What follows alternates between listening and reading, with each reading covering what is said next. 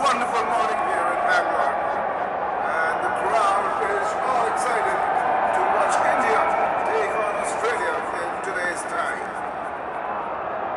The Australians have won the toss and have put India into bat.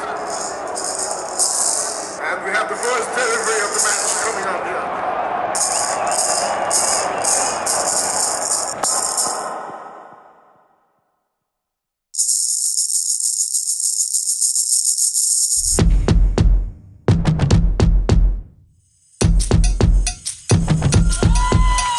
And the numbers are constantly building. Lots of Bengalurians out there, lots of people from Karnataka, from various parts of the country, and even overseas. Some of these below the fourth boundary, driven and driven to perfection. Obviously, the fielders are throwing themselves onto the ground, made it to the ropes.